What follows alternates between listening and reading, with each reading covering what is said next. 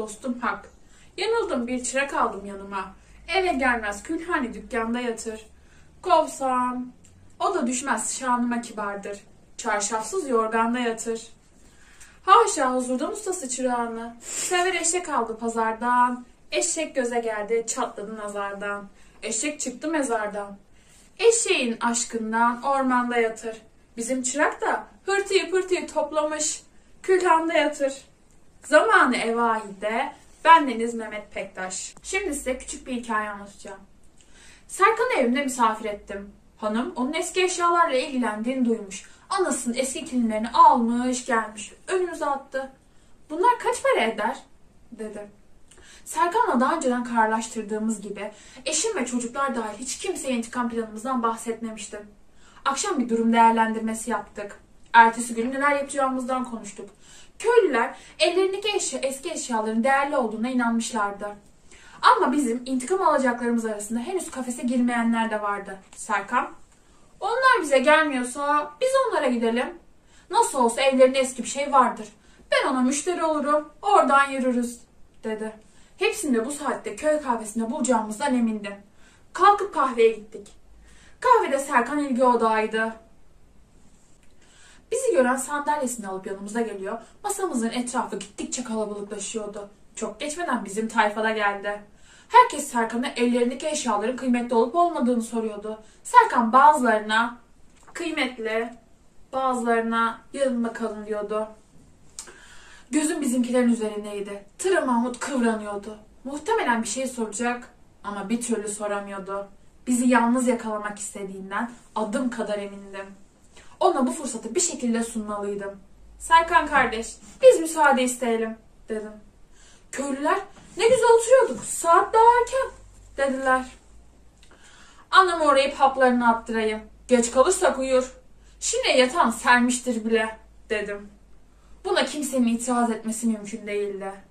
Sen git gel, Serkan bizimle kalsın, diyenler oldu.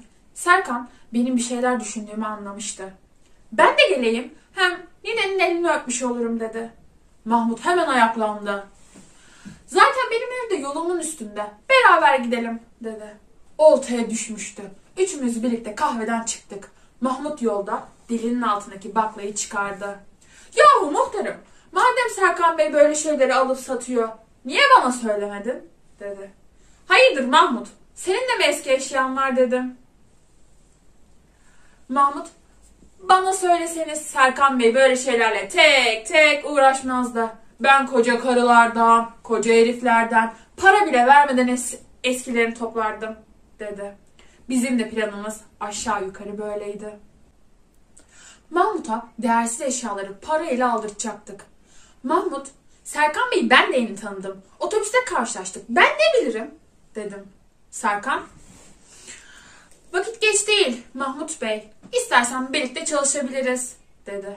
Mahmut'un gözlerinin parıltısı karanlıkta bile belli oluyordu. Serkan Mahmut'u iştah, iştahlandırmak için bu işte çok para var çok. Hiç ummadığın şeyler binlerce dolar ediyor dedi. Ben Mahmut yok mu sende hiçbir şey dedim. Mahmut benim karı eskiyi hiç sevmez. Babadan kalma eski bir semerden başka hiçbir şey yok dedi. Bu defa Serkan'ın gözleri parladı. Sahi mi söylüyorsun? Eski bir sever kaç para eder senin haberin var mı? dedi. Mahmut bön bön bakıyordu. Serkan ben geçen yıl bir semeri Avrupa'ya bin euroya sattım dedi. Mahmut bin euroyu kaç para yaptın parmaklarıyla hesaplamaya çalıştı. Sonra da "Hmm, ne yapıyorlar ki bu semere dedi. Ben kendimi tutamadım. Senin gibi eşeklere vuruyorlarmış dedim. Mahmut muhtarım dalga geçme. Şurada iş konuşuyoruz dedi. Serkan bunları kafelere, otellere, lüks mağazalara, dekorasyon malzemesi olarak koyuyorlar dedi. Mahmut numaramızı bal gibi yemişti. Ama yine de aklına birkaç soru işareti vardı. Altı üstü semer bu. Orada yapan yok mu? dedi. Ben araya girdim. Mahmut deli deli konuşma. Semer'in ustası mı kaldı? Burada bile yaptırmaya kalksan yaptıramazsın dedim. Doğru söylüyorsun dedi Serkan. Mahmut Bey ne olur şu semeri göster dedi. Mahmut'un arkasından düştük. birlikte ağara girip telefonun ışığıyla eski Semer'e baktık. Serkan Semer'i görür görmez atladı. Bu ne güzel bir Semer böyle. Harika. Bu Semer en az 2000 euro eder dedi. Mahmut'un yüzü gülüyordu. Serkan bunu 1000 euroya senden alayım dedi. Mahmut 2000'i duyunca bine razı olmuyordu. Bunun üzerine Serkan başka bir teklif yaptı. Mahmut Bey, bu semerlerden başka bulabilir miyiz? Mahmut, buluruz. Neden bulmayalım? Çevre köylerde, bizim köyde eşeği olan herkes de vardır, dedi. Sen ne kadar semer bulabilirsen topla. Avrupa'da bu iş için büyük müzayedeler yapılıyor. Eylül ayına kadar zaman var. Ne kazanırsak 3'e bölelim. Diyelim ki 150 semer buldun. 150 bin euro kazandık. 50-50 bölüşelim. Ben araya girdim. Beni karıştırmayın. Ne yaparsanız yapın dedim. Mahmut zaten ileride beni devreden çıkarmak için çıkarmak isteyecekti. Hem ortak olursak yediği kazığı benden çıkarmaya kalkabilirdi.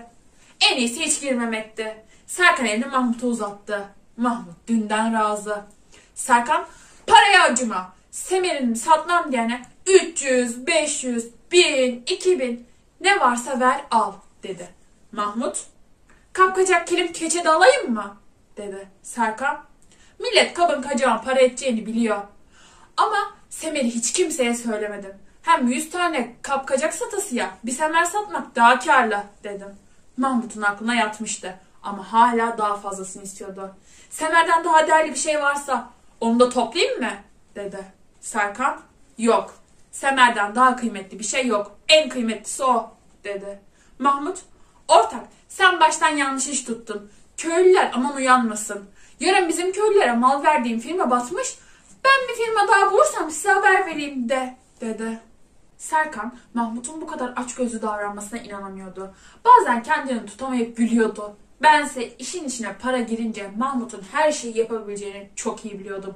Ahırdan çıkarken Mahmut Semer'i omuzuna vurdu. Serkan şaşkındı. Ne yapıyorsun? dedi. Mahmut bu kadar kıymetli şey ahırda tutulur mu? Eve götürüp sandığa koyacağım dedi. Yenge kızmasın Mahmut dedim. Kızarsa kızsın dedi. Oradan ayrılırken Mahmut Serkan'a da bana da sıkı sıkı aman ağzınızdan bir şey kaçırmayın diye tembihledi. Serkan da Mahmut'a bulabildiğin kadar semer bul. Ne kadar çok bulursan o kadar iyi dedi. Mahmut'un evinden iyice uzaklaştıktan sonra kendimizi koy verdik. Kahkahalar atıyorduk. Gülmekten gözlerimizden yaş gelmişti. Serkan, muhtarım gördün mü intikam nasıl alınır? İlk günden Mahmut'u semer tüccarı yaptık dedi. Serkan, bu Mahmut o kadar uyanıktır ki millet anlamasın diye direkt Semer'e müşteri olmaz. Eşeği satın alır. Sonradan Semer'ini ister dedim. Semer tüccarı değil eşek tüccarı yaptık desene. Gülmekten karnımıza ağrılar girdi. Bu kıssadır bir mecmua kenarına kaydolunmuş. Biz de gördük, söyledik. Sakiye sohbet kalmazmış Baki. Her ne kadar sürçülisan ettiysek affola. İnşallah gelecek sefere daha güzel bir hikaye söyleriz.